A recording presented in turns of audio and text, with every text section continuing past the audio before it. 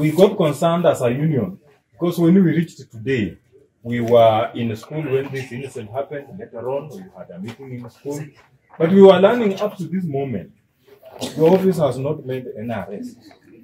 Those people who marched in the school, Narisu, Panga, tuliona Panga, Marungu, It also happened in two other primary schools in that region.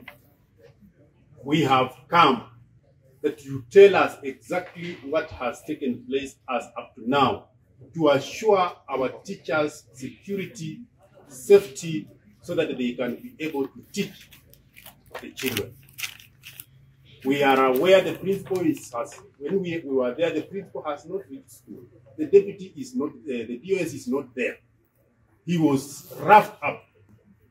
And we have come here. We wanted the education office to assure us of the security of our teachers. And what are they doing to the teachers whose image has been tainted, destroyed before the learners, traumatized by the parents, the parents of those children, and some of them beaten. As at, at now, we don't know what your office has done. We want an assurance of protection, an assurance of security of our people, our teachers on the other side. They are here. If you talk to them, then they will be assured to go back to school and work.